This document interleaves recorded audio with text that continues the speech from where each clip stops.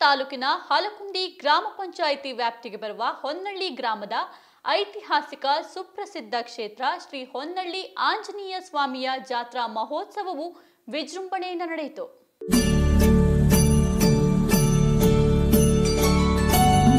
ಬಳ್ಳಾರಿ ತಾಲೂಕಿನ ಹಲಕುಂದಿ ಗ್ರಾಮ ಪಂಚಾಯಿತಿ ವ್ಯಾಪ್ತಿಗೆ ಬರುವ ಹೊನ್ನಳ್ಳಿ ಗ್ರಾಮದಲ್ಲಿ ಜರುಗಿದ ಶ್ರೀ ಹೊನ್ನಳ್ಳಿ ಆಂಜನೇಯ ಸ್ವಾಮಿಯ ಜಾತ್ರಾ ಮಹೋತ್ಸವವು ವಿಜೃಂಭಣೆಯಿಂದ ಆಚರಣೆ ಮಾಡಲಾಯಿತು. ಸಾವಿರಾರು ಭಕ್ತರು ಊರಿ ಬಿಸಿಲನ್ನು ಲೆಕ್ಕಿಸದೆ ಶ್ರೀ ಹೊನ್ನಳ್ಳಿ ಆಂಜನೇಯ ಸ್ವಾಮಿಯ ರಥೋತ್ಸವಕ್ಕೆ ಜನಸಾಗರ ಹರಿದು ಬಂದಿತ್ತು.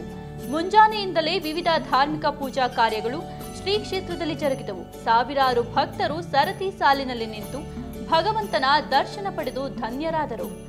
ಪೂಜಾ ವಿಧಿವಿಧಾನಗಳ ನಂತರ ರಥೋತ್ಸವಕ್ಕೆ ಚಾಲನೆ ಸಿಗುತ್ತಿದ್ದಂತೆಯೇ ಭಕ್ತರು ರಥಕ್ಕೆ ಬಾಳೆಹಣ್ಣು ಎಸೆಯುವ ಮೂಲಕ ತಮ್ಮ ಇಷ್ಟಾರ್ಥಗಳನ್ನು ಪೂರೈಸುವಂತೆ ಭಗವಂತನಲ್ಲಿ ಬೇಡಿಕೊಂಡರು. ಈ ಸಂದರ್ಭದಲ್ಲಿ ಪವರ್ ಸ್ಟಾರ್ ಪುನೀತ್ ರಾಜ್ಕುಮಾರ್ ಅವರ ಅಭಿಮಾನಿಗಳು ಅಪ್ಪು ಭಾವಚಿತ್ರ ಹಿಡಿದು ರಥದ ಜೊತೆಗೆ ಸಾಗಿದ ದೃಶ್ಯ ಕಂಡುಬಂತು Hemant Raj, TV twelve Kannada, Ballari. TV twelve Kannada, ಇದು ಕನ್ನಡಿಗರ ಧ್ವನಿ.